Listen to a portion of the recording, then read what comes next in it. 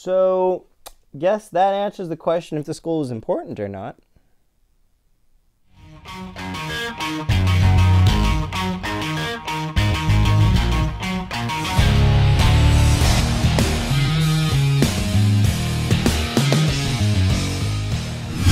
Good morning, afternoon, and evening, ladies and gentlemen. My name is Zachary Nolan. Carter Nolan is behind the camera. Yes, I am once again. And welcome yet again to another goal or no goal breakdown. So, if you're not familiar with this, I pretty much review this play because NHL review systems are so controversial these days that I try to have an unbiased opinion myself. I throw my name in there as somebody who's been on the receiving end of bad goal, goal calls as a goaltender myself, and somebody who's had to deal with making goal calls myself because I also referee minor hockey.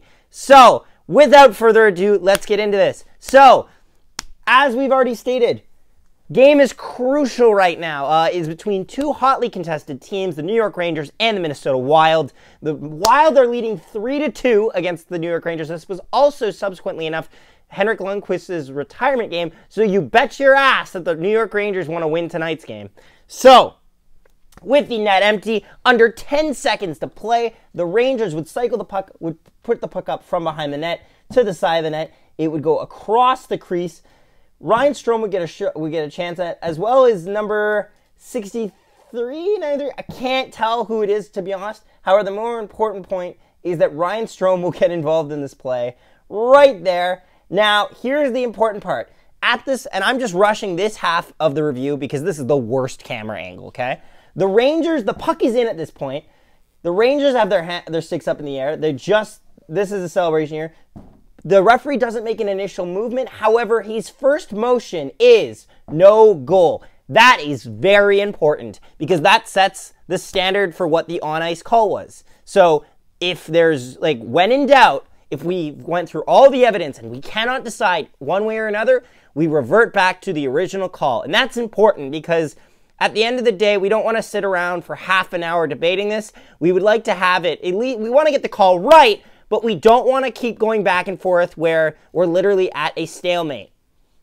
So it's always key to look at what the initial call is. The initial call is no goal. So this needs to have concrete evidence to support the Rangers in for the goal to count. So let's go through this. So uh, also, we have the initial uh, video in the description if you want to watch that at full time at uh, game speed. Worth noting though, I recommend not watching with uh, audio, at least one of your your watch because it is the Rangers audio. And no disrespect to the Rangers audio, however, whenever you watch uh, a replay, what'll end up happening is is that no matter what, usually you'll have the commentators voicing not just what they think is happening, but also what they kind of want to happen, and that's normal. That happens with all announcers. Nobody's um, like safe from that type of bias. However sometimes uh, announcers are more uh, understanding to their own players' mistakes than another team's mistakes in this play. So, important to note, puck is pretty much around the play at this point. I believe this is where um, Ryan shot the puck on net. Yes, so the puck is going went across the crease. Ryan Strome takes a shot at it. Cam Talbot makes the initial save. So if we keep this going here, the puck is now under Cam Talbot. Important to note, it is not covered at this point. There's no coverage. However, here's the interesting thing. So Ryan Strome tries to get the puck, and the puck is just outside of Cam Talbot. So if his pad is here, puck is here, that's fine. Cam Talbot does a good job to put his foot on the post to try to block out any chances of a jam play. Ryan Strome gets his stick caught on Cam Talbot's foot, and then this is where it really gets kind of dicey. So the puck is loose. This is, and the key part here is that Cam Talbot sees the puck is loose. Ryan Strome sees the puck is loose. And there's another Ranger stick involved that also knows the puck is loose. At this point, the Minnesota defender, we can just forget about him because he does nothing on this play to help his goaltender out in any way, shape, or form.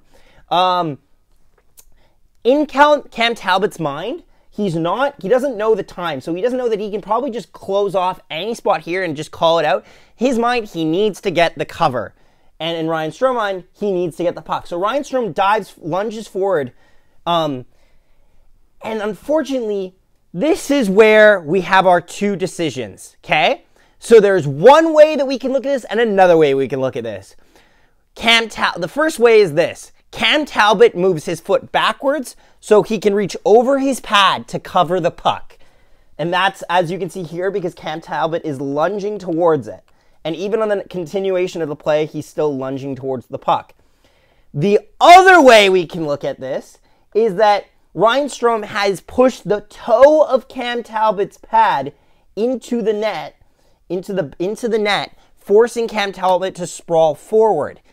That's the thing, that's the main argument here for both sides is either Cam Talbot willingly lunges towards the puck or Strome takes his foot out. Here's the problem. I believe that Cam Talbot lunges forwards towards this puck. However, there's no way of proving that it that his foot wouldn't have just stayed where it was had it not been for Strome pushing on it. So there's a likelihood where he can just lunge for the puck like this without moving his foot. And the NHL knows that, and they also see the fact that the main force of contact that is pushing Cam Talbot backwards and giving an opening for the Rangers to score this goal, which the puck, as you would see from these next two shots, would go across the line, is due to Ryan Strome pushing on Cam Talbot's pad without any use of the puck being there. So at the end of the day, I would say no goal. And the main fact is, is that this is very close. And you can argue that Cam Talbot releases his leg to get a better angle to cover the puck. However, the problem is, is you cannot prove that he wouldn't just have wanted to keep his leg steady anyway. Had Ryan Strome not been here and he just moved his pad out, we would have concrete evidence that the Ranger's goal should be fine. However, the fact that his foot, his stick blade is in the foot area of Cam Talbot and pushes him into the net, it has to be no goal because you just can't take that chance, especially when you're giving goaltenders a certain understanding, especially when they're in their net. So yeah, I know Rangers. I know a lot of Rangers fans, and I know this one might not be very popular, but I, I have to say it's no goal.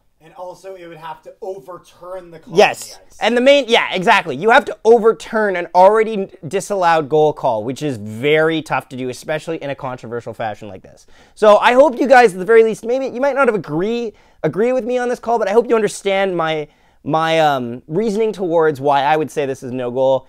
And I hope you enjoyed this. Uh, please feel free to subscribe because we really would appreciate it. We just passed 700. Thank you so much to everybody. Uh, we're hoping to hit 750 maybe by in the next month or so. Um, our ultimate goal is, of course, 1,000. Uh, don't forget to leave a like on this video because it really does help us out. Uh, comment down below. What do you think? Is this a goal or is this not a goal?